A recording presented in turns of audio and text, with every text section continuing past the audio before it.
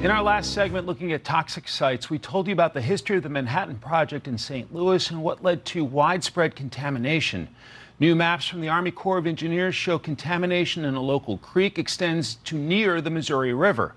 Tonight, my colleague Brett Baer looks at the cleanup effort there and at the landfill where the nuclear, nuclear waste sits today. They had a chance to really prevent all the harm that we're seeing now, and for whatever reason, they chose not to. The U.S. government keeps a list of locations across the country known as Superfund sites. Dawn Chapman and Karen Nickel say when they bought their homes, they were unaware a Superfund site was located nearby. It was like, what the heck is that? I, I didn't know to even look for that when I purchased my house. The Environmental Protection Agency added the Westlake landfill to its national priorities list in 1990. The Superfund process can be very lengthy. Nearly 35 years later, the agency says it is still working to develop a plan as to how to clean up the site. We don't have the timeline. It's difficult to guess how long this is going to take. Um, we've made really good progress with the responsible parties on doing the full assessment. Some of us may not even experience the cleanup in our lifetime. Adding to the complex work, a fire has been burning at that site for nearly a decade. It's not uncommon for there to be landfill fires. The EPA says there's significant space between the fire and the radioactive waste. Crews have installed a barrier to contain the fire, and officials say there is currently no risk to residents in the area. That subsurface smoldering event is definitely in better shape than it was, you know, several years ago. But some residents say the work is taking too long. The truth is, is that both federal agencies have made um, huge errors and mistakes in characterizing it. The two sites where toxic waste was stored after the Manhattan Project were added to the national priorities list in 1989.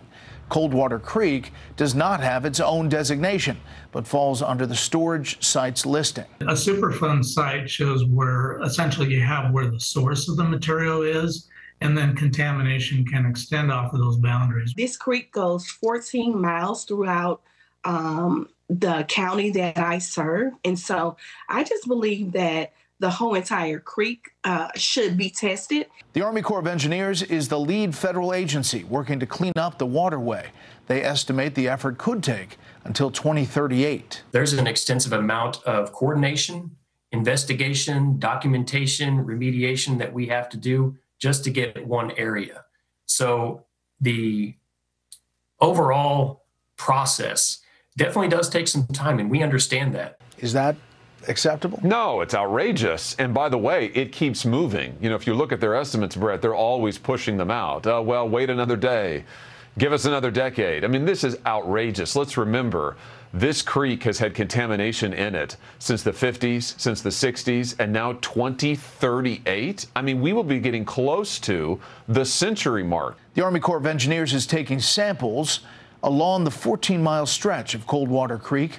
That area contains 756 properties, including homes, commercial locations, and recreational sites. When the Army Corps took over in 1998, the extent was not 100% known. We got to in 2012 and realized that there was more extensive sampling needed in Coldwater Creek. New maps from the agency show locations where soil is contaminated.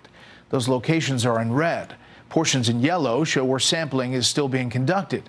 Green and blue areas have been determined safe. The driver for a lot of our remedial action is the thorium 230. For it to cause harm, needs to be ingested. Coldwater Creek flows behind Jana Elementary School, which closed in 2022 after thorium, a carcinogen, was detected on the property. Jana Elementary School was was truly a nightmare come true for us because we knew where it sat along the creek.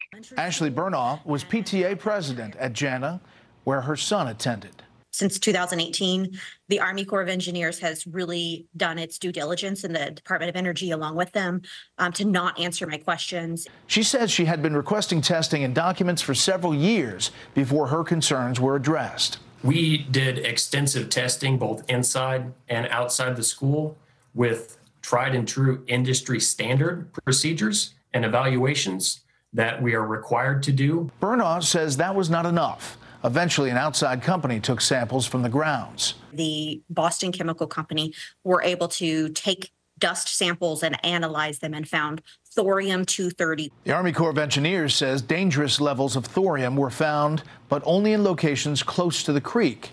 They determined the school did not need to close. So the the banks of the creek are being remediated by the Army Corps of Engineers because it meets their magical threshold of what radioactive waste, what they're willing to clean up of radioactive waste. We verified and concluded that the school was safe from a radi- radiological standpoint, and we stand by that. The Corps is taking soil samples from homes near Coldwater Creek after contamination was found in backyards.